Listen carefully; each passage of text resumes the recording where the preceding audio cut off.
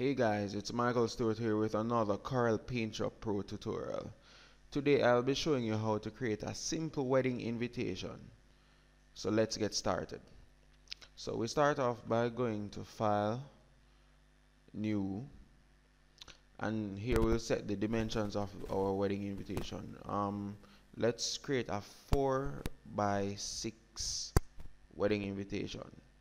Um, that's a standard orientation um, for wedding invitations. So hit OK, and there we have it, a nice, fresh work area to, to begin messing around with. So we go over to our flood fill tool, and we're going to add a white background. So there we have it, um, white background to start with. And then we can hit our pick tool well our text tool. So we we go over to our text tool and we write the names of the persons. So let's come up with a name. Um, Simone S I M O N E Walters W A L T E R. So we hit apply changes and we bring this to our center and then of course it's a wedding invitation so we would want to add a more scripted font more like a handwritten font just so that it has you know more of an elegant look. So we can start if you don't have these fonts you might need to download them or just find something that matches what you would want. I have a great font here that is called great vibes. Um, so we're going to make this black so I'm left clicking and right clicking um, in my case my stroke was my stroke was was set to 2 so let's bring that down to 0 and hit apply changes. So right away we see we start to get some um, some nicer looking font so we could duplicate this and bring this down and then with the text tool selected we can edit the bottom one by clicking inside it so control A to select all and then Simone Walters is getting married to um, Jakes Bennett. B-E-N-N-E-T-T alright. And apply changes again. The general wording of a wedding invitation. Well you can word an invi wedding invitation just about any way so we'll start off by so, some using some of the traditional ways. You are cordially invited to celebrate the marriage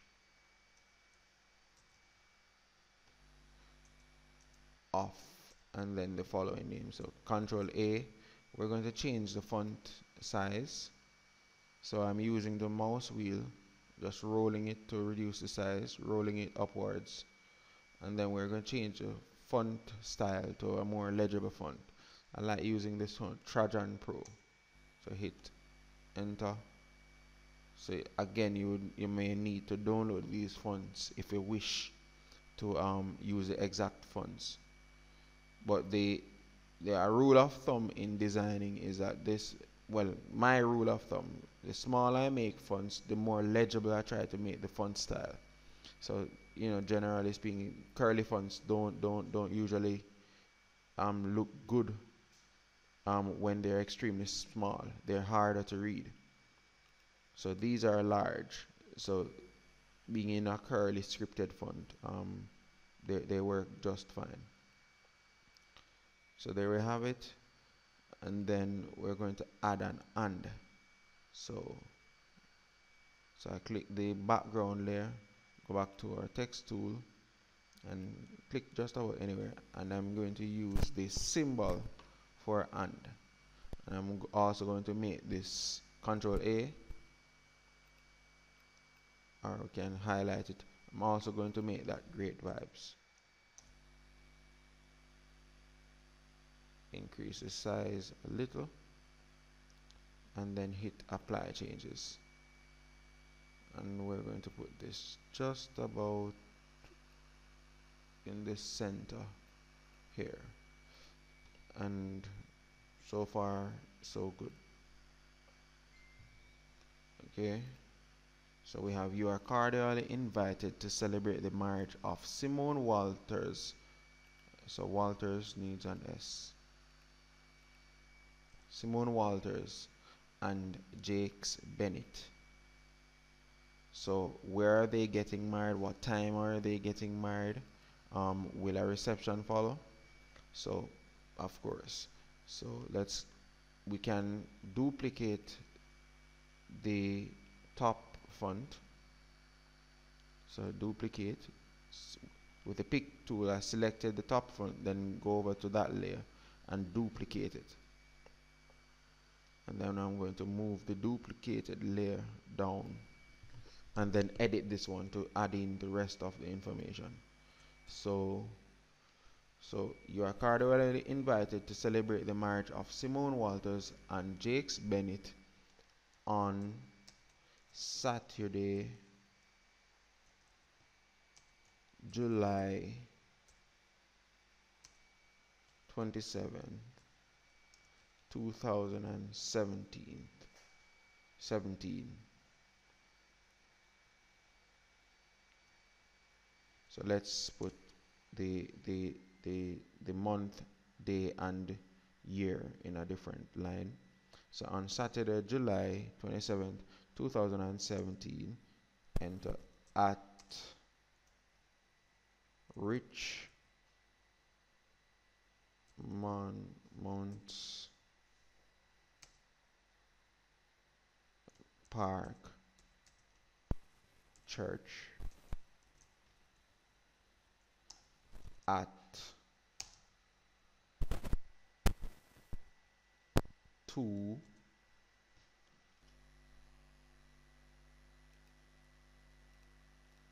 at just checking to ensure that I'm getting some recording. So at 2 in the afternoon. Awesome. And then um, we could say reception follows at mm, Richmond Richmond Park.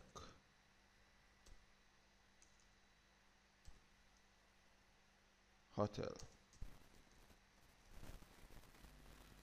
So we can maybe style um, add make this section here a little bit more attractive. Keeping things consistent we're going to use back the same font. Great vibes. And then increase the size of this.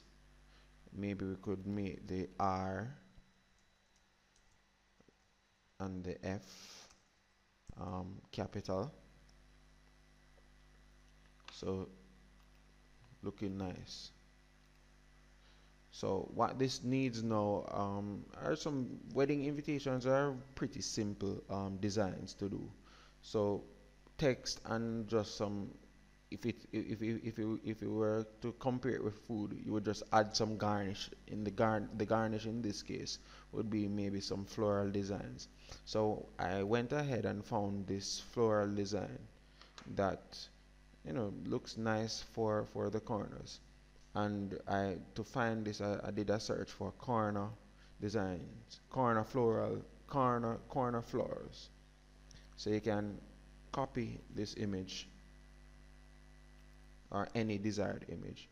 And with a layer selected I'm going to select the the raster the background layer control V. So oh right here we're getting a, some black. So maybe a blend mode would fix this. So let's try screen. That didn't work. Let's try um, lighten still didn't work. Let's try darken. Still not working. So this floral background will be difficult to use because it was original in a PNG so I guess we're going to learn something. This file is a PNG file.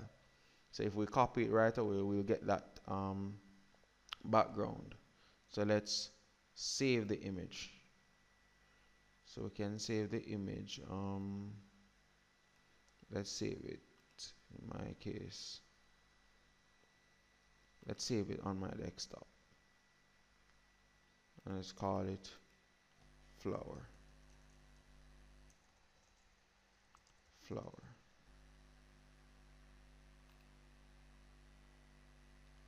Alright so I'm going to quickly go to my desktop and then right click on the image flower and open with Corel Paint Pro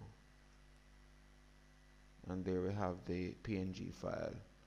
Um, nicely cut out in its original PNG form. So we can go back to our design. So I went to the floor copy go back to our design. We can get rid of this original one. This the one that we copied previously. And delete that. And then control V and there we have it so control V to um, paste. So we're going to use this to pretty much benchmark well as guess the colors that we're using for the, the wedding. I would imagine that this is a very colorful wedding based on the colors that are inside the floral. So we can duplicate this again and then rotate it. And then bring this to the top edge. Maybe we can reduce the size a bit. Just so that it fits nicely. And do the same here so that it fits nicely. So what I'm going to do I'm going to sample some colors. I really like this pink here so I'm going to sample the pink to create um, the coloring for the, the, the names. So with the text tool selected I'm going to select the inside control A then click the the fill color. So that's the right or bottom right um, one here over over our color well materials palette. And then I'm going to simply sample this this darker or area of pink and hit OK. And apply. And we can do the same. Control A. Select, the, select this area and we can sample it from the previous color apply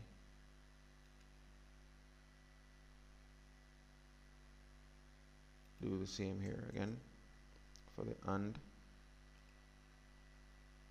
Sample the color. Awesome. So and then maybe we can make these areas green. The so control A so let's find a green that we'll be using. Let's use this lime green. I'm seeing here. Um, this is not looking too legible so let's use a darker. Alright I'm seeing a, a darker green here. So darker. Looking good do the same for this section here so text tool edit the text area here control well select this section here and sample the colors again.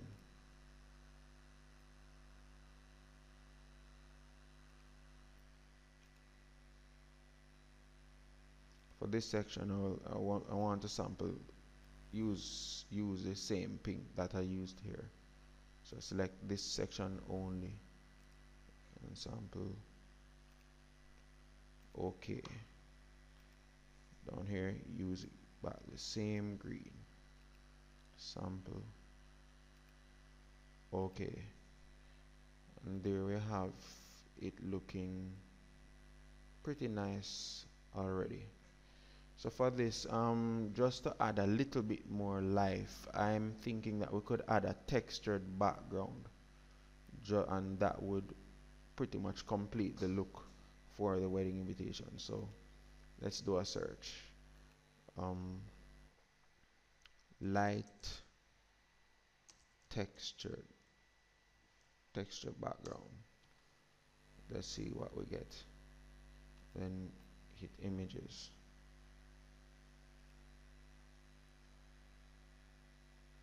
so I'm uh, let's see if this is accessible view Alright, let's try this and see what happens. So copy this image, go back to our file here and control V to paste it on the inside. So let's move it down. So I'm just clicking this layer, holding it and dragging it below everything and just above our white layer. And then I'm going to do some sizing. So we can size it down some more and then what I'm going to do I'm going to reduce the opacity of it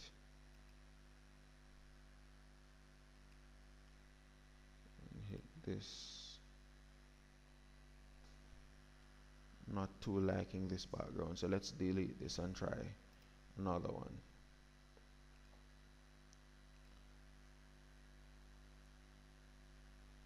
let's try paper paper texture background. Let's see what we get. Alright, something like this. So view image again. Alright, this looks like linen. So let's copy this. Go back to our invitation. Control V, paste. And then we can reduce the opacity here.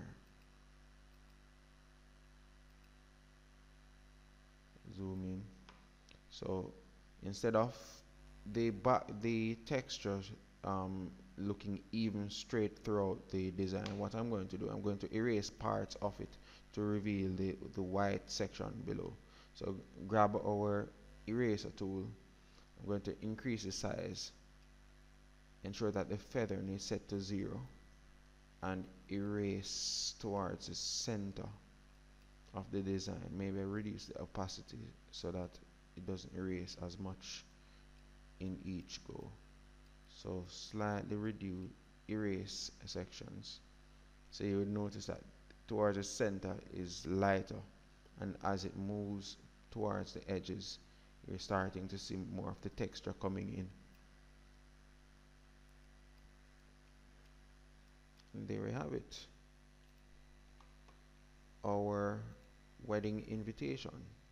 A simple and quick um, wedding invitation in Corel PaintShop Pro. Thanks for watching and please subscribe for more videos on, on how to use this wonderful software, especially for graphic design purposes. Peace out and stay cool.